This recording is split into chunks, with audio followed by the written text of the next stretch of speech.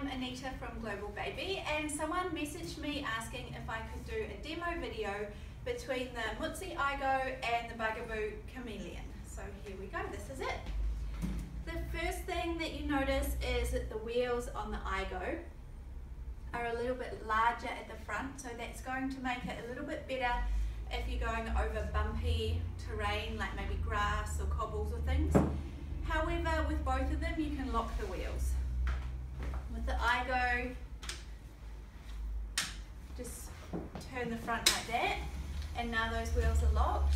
And with the Cameleon you've got to pull it so that the wheels are facing the other way. And this little white bit on the inside, push that up.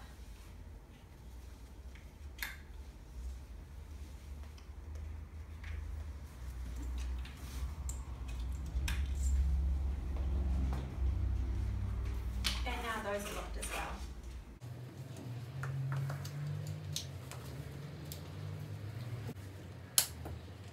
Next thing is let's look at the wheelbase. So the distance between the back wheels and the front wheels.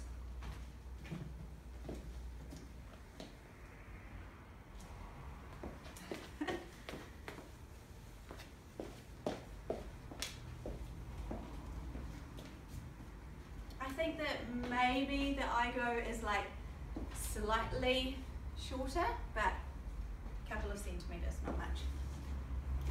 Both of them you'll find that makes them really easy to manoeuvre in small spaces like cafes, shops, around town, that sort of thing, which is great. I think that the Igo, the baby, is quite a bit higher when you're in the carry cot mode. Of them you can put the hood up and down. The Cameleon, you've got this bumper bar on the carry cot mode, although I notice a lot of people take that off and you don't have that on the Igo. Now the handlebars, you've got quite a big range there with the Cameleon. This is a Cameleon 3 by the way. I think it's higher on the Cameleon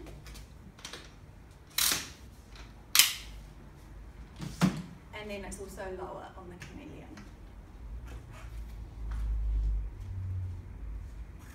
The brakes on the Mutsy are just here by the foot and then on the Bugaboo it's a handbrake.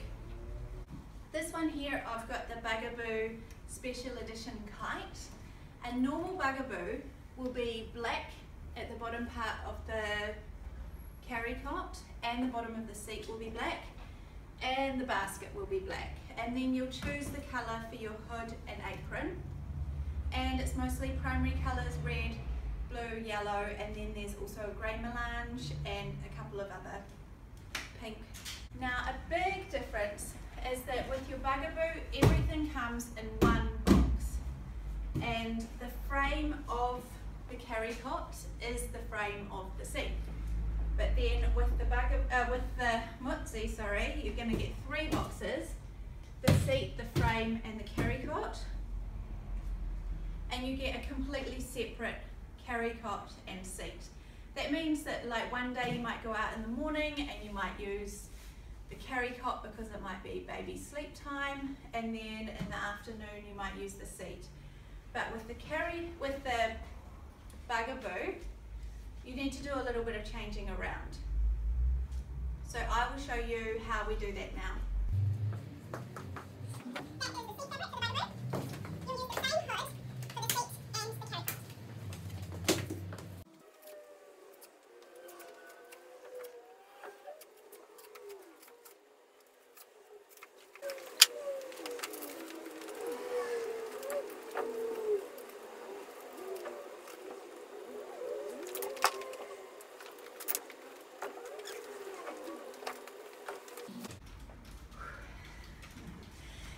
As you can see, that's a little bit of an ordeal, but it probably, in reality, was like a two or three minute job. It's not that bad, but I do find that you're less likely to do it. Like maybe you will just be using the carry cot and then one day you'll decide, now I'm going to start using the seat and then you use the seat and you won't go back to the carry cot. Now let's look at the seats. Both of them you can have this, uh, the baby facing you, which is something that we always advocate for here at Global Baby. And you can turn them around kind of when you're ready or when they want to see the world instead of you. Probably they just want to look at you, right? Uh, a nice thing that I like about the Mutsy is this ergonomic recline. When they're lying down, the seat is completely flat. With Bugaboo, hopefully you can see from there. So this is a seated position and it's, sorry, this is the upright position and then you're just pressing on these white circles here and this is the recline. When the baby's lying down, they're still kind of in a seated position but they're kind of lying back but lots of babies don't mind, they sleep perfectly fine in there. With my daughter I had a Bugaboo Cameleon and then I moved to a Mutsy Igo and now with my new baby I'm going, to, I've just bought a carry cot so I'm going to have the Mutsy Igo. So I'm speaking a little bit from experience. I will show you how we turn around the seats. With the, back, uh, with the Mutsy Igo there's an extra step here so you've got to press this button, turn this little thingy around to turn the seat the other way. and you've got the toddler footrest there with the bugaboo. Mm. It's really easy, just one step, so you're pressing on these white rectangles, turn it around.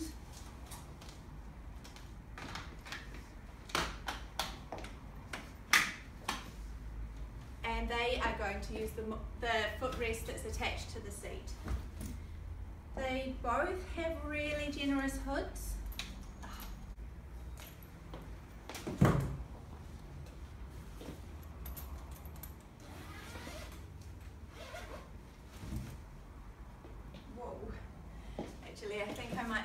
bugaboo hood is a bit more generous.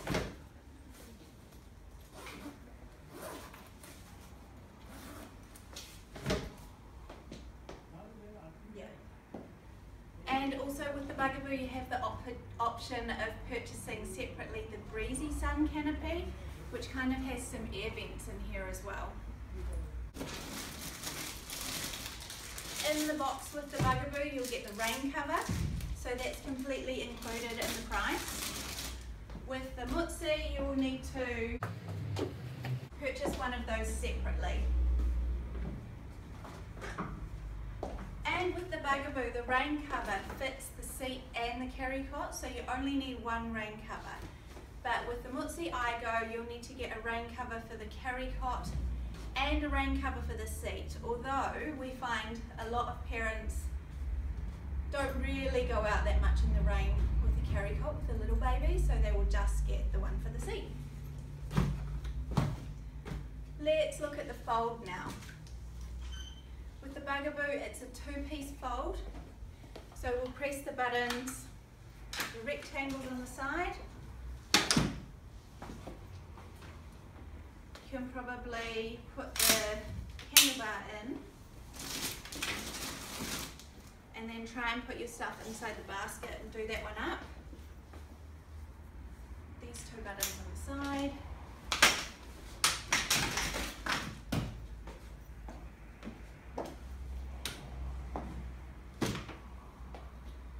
And I always used to put it in the car like that and I had a small Holden Astra at the time, fits in there no problem at all.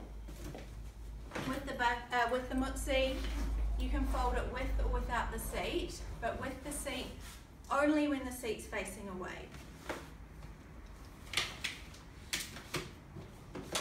So the handle at the back of the seat, flip it over, fold, then fold. So, side by side. Or if you're using it in facing you mode,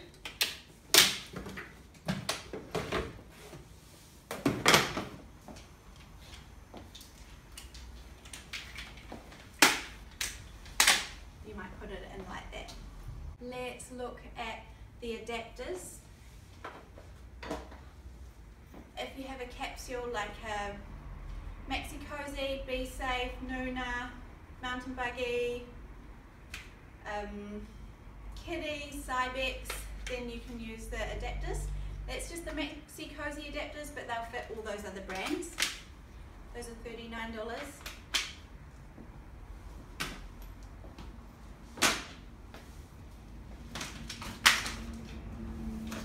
These are Maxi Cosi adapters that come with the bug, well, that you can purchase separately if you have a Bugaboo. So this is the Bugaboo Cameleon ones. And to be fair, let's use the same capsule. Let's use a Maxi Cozy Cabrio Fix capsule. That's one of the biggest selling capsules in the world.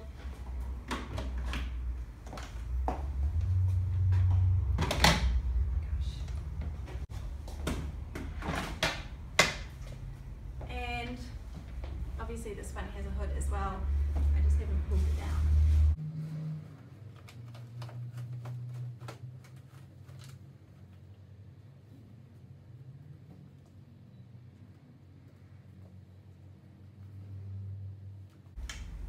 Alright, here we go. You can see that the capsule on the Igo is considerably higher than with the Cameleon.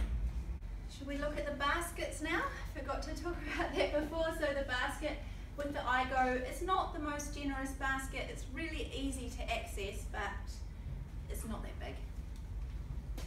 With the Cameleon, it's really big, but it's not that easy to access, so kind of the opposite. Okay, I recorded the whole video and then I remembered a question that I often get asked is about the Bugaboo Cameleon and whether the carry cot collapses when you put it on the ground. So I've put the carry cot back together, which did not take too long, and I will show you that you can just put that on the floor like that. So maybe if you go to someone's house to for a barbecue or whatever, the baby needs to go to sleep, you can put them to sleep in there. It's not approved for overnight sleeps, but for naps, fine. It's supported, it's fine. Now with the Mutsy, obviously it's a hard-sided carry cot, so that's no problem at all. Ah, I forgot to show you guys that.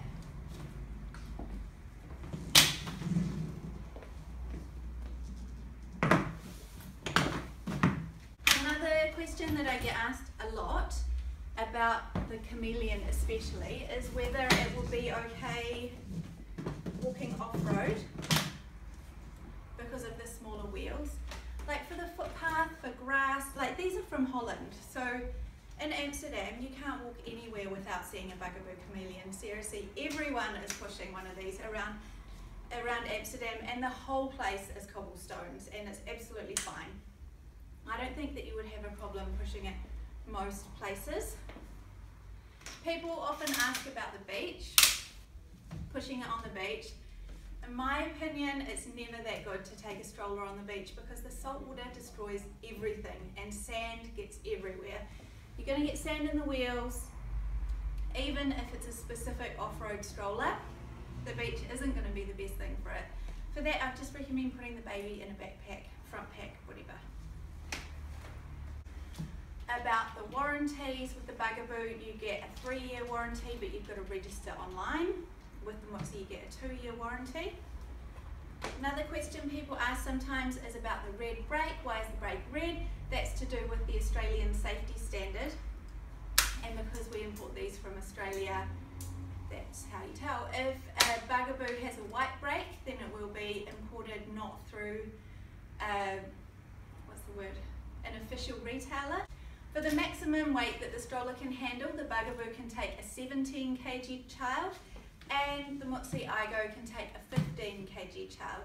That said, they sell the Mutsy in the US and they say 20 kg and it's the exact same stroller.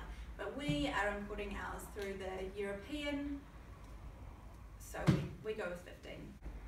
So there we go, that's our comparison between the Bugaboo Cameleon 3 and the Mutsy Igo. I hope you found it helpful and feel free to look at our website or come in store and try them out.